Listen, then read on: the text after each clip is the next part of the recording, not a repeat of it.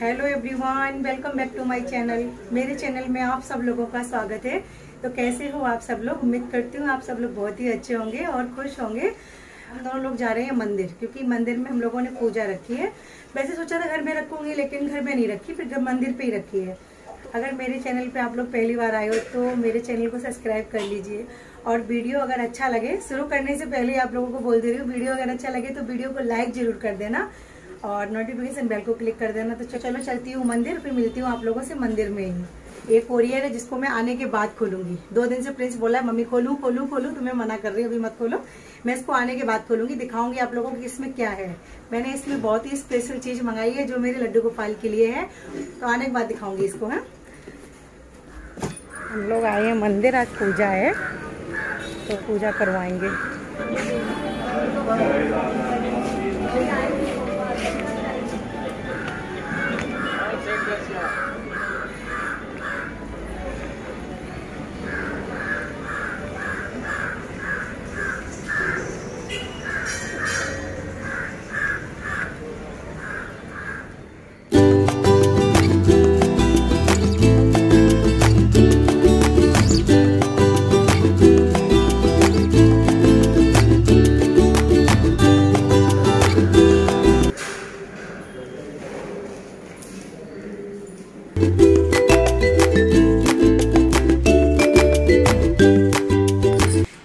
पंडित जी ने सारी तैयारी करके रखी है पूजा की, हम लोगों के आने से पहले ही। वैसे तो पूजा घर पे कराने वाले थे, लेकिन फिर बाद में सोचा कि घर से ज़्यादा ठीक मंदिर में रहेगी।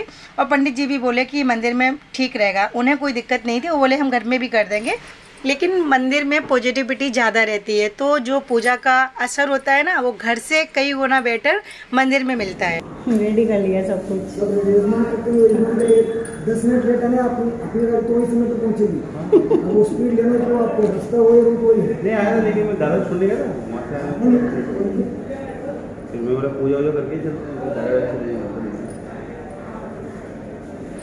हम लोगों को फ़ोन कर दिया था कि इतने बजे यहाँ पे आ जाना तो हम लोग टाइम पे पहुँच गए। तो सारी तैयारी तो ऑलरेडी थी पहले से ही, बस पूजा में हम लोगों को बैठना था। ये शिव मंदिर है जहाँ पे हम लोग पूजा रखी है।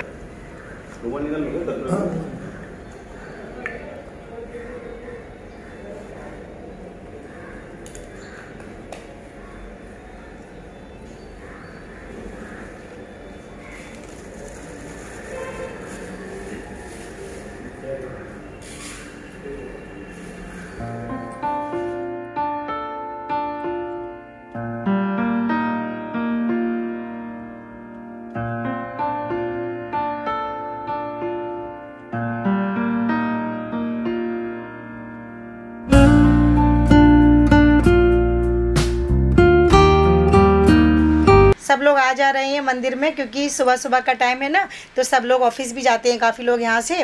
रास्ते पे है रोड पे ही तो निकलते भी हैं तो आते जाते रहते हैं। और मॉर्निंग के टाइम पे मंदिर में तो वैसे भी अच्छा लगता है, क्योंकि सबको ही पता है कि मंदिर में जितना हो सके ना, उतने जल्दी जाओ तो अलग ही फीलिंग आती है। तो वो जगह ही ऐसी होती है और मंदिर में तो शायद सबका मन शांत होता है और पॉजिटिविटी फील होती है तो मंदिर में सारी उलझन दूर हो जाती है, अलग लगता है। और पूजा का जो टाइम ये है ना मुझे बहुत अच्छा लगा और ये पूजा करके मुझे बहुत अच्छी वाली फीलिंग भी आ रही थी, बहुत अच्छी वाली।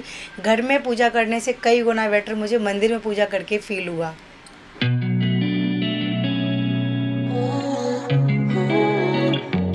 और अभी हम लोग जा रहे हैं मंदिर में अंदर, जो शिवलिंग है ना, वहाँ पे ये पूजा के जो फूल है ना, वो चढ़ाएँगे, क्योंकि पूजा संपन्न हो चुकी है। अब मंदिर में जाके शिव जी का आशीर्वाद लेंगे। इसके बाद यहाँ पे आएँगे, फिर सारे देवी देवताओं का आशीर्वाद लेंगे। उसके बाद हवन होगा, क्योंकि हवन अभी नहीं हुआ है। और आरती भी अभी बाकी है, आरती भी नहीं हुई है। तो सबसे पहले देवी देवताओं का आशीर्वाद ले लेते हैं, उसके बाद आरती करते हैं, फिर हवन करते हैं। तो आप लोग भी शामिल हो जाइए पूजा में, और यहीं से भगवान का आशीर्वाद ले लीजिए।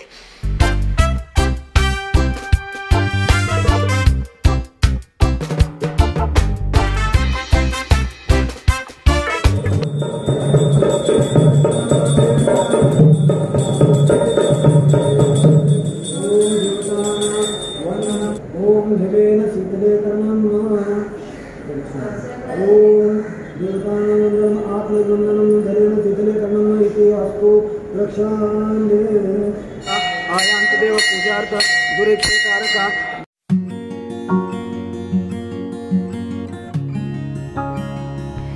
पूजा हो चुकी है और हम लोग इधर साइड में बैठे हैं क्योंकि पंडित जी हवन की तैयारी कर रहे हैं। तो पंडित जी बोलने लगे, आप लोग साइड में बैठ जाओ थोड़ी देर, जब तक हम हवन की तैयारी कर ले रहे हैं और कंटिन्यू पूजा में बैठे हैं ना तो काफ़ी टाइम भी हो गया पूजा हो चुकी है और पंडित जी हवन की तैयारी कर रहे हैं।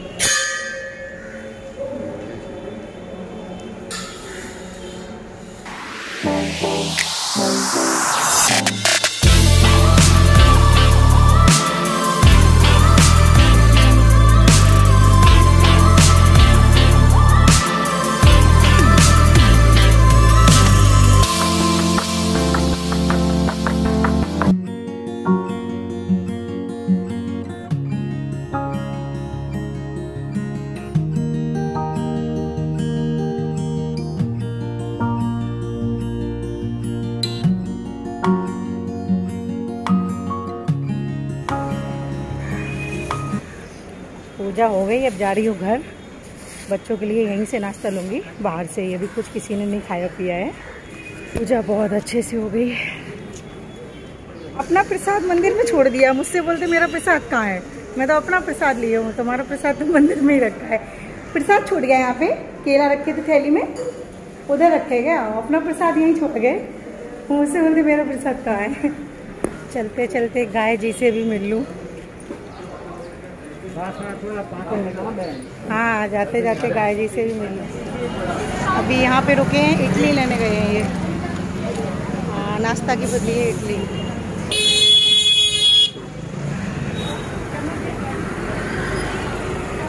पूरे रास्ते में चुन्नी में लिए खड़ी हूँ, देखो। एप्पल कहीं रखा भी नहीं है। ये प्रसाद मंदिर में रख दे कि हम लोग खाएँगे आधा आधा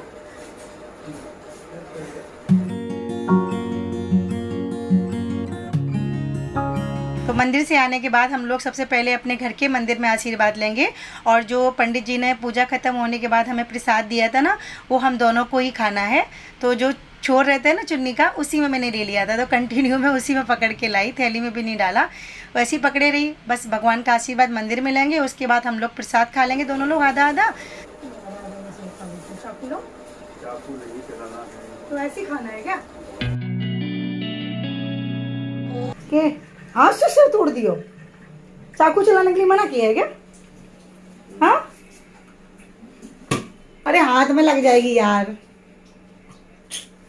क्या यार तुम भी सेव की क्या हालत कर दी?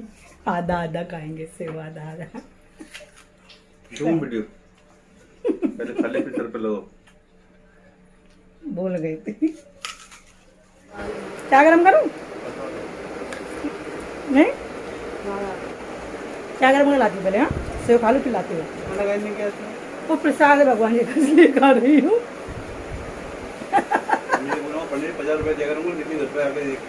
अरे प्रसाद है इसलिए खा रही हूँ।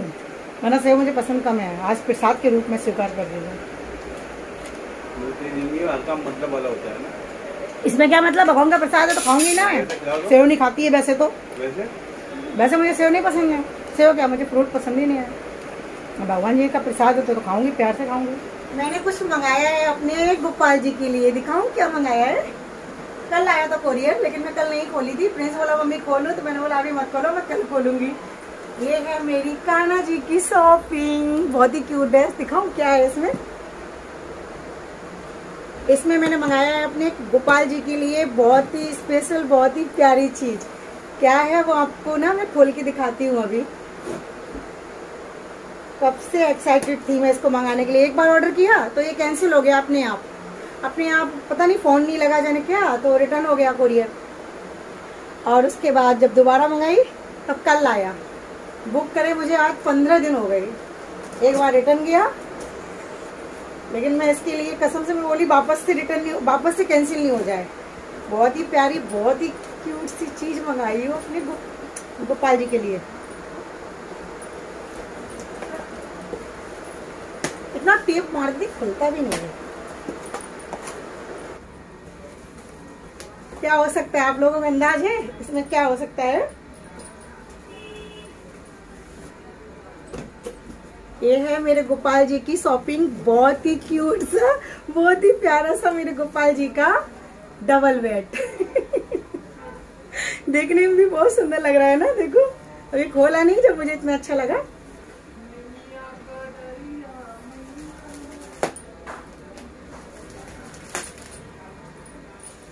सोना सोना है, मेरे गोपाल जी का मेरे लड्डू गोपाल की शॉपिंग है। पैकिंग भी इतनी ज़बरदस्त कर देते हैं लोग। बहुत ज़्यादा।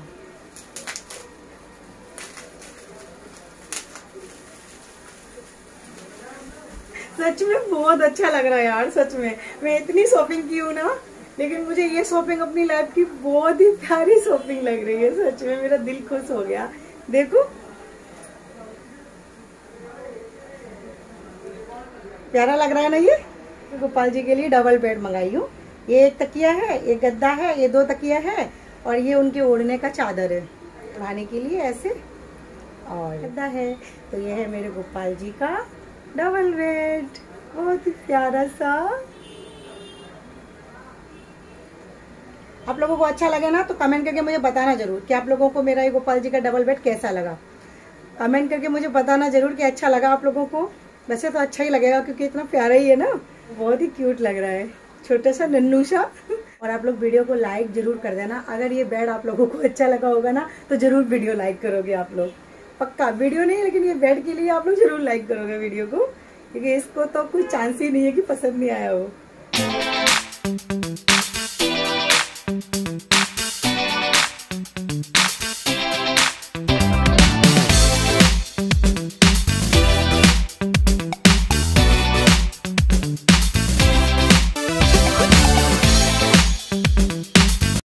वाले ब्लॉग का अब यहीं पे एंड करती हूँ और आप लोगों को मिलती हूँ नेक्स्ट ब्लॉग में।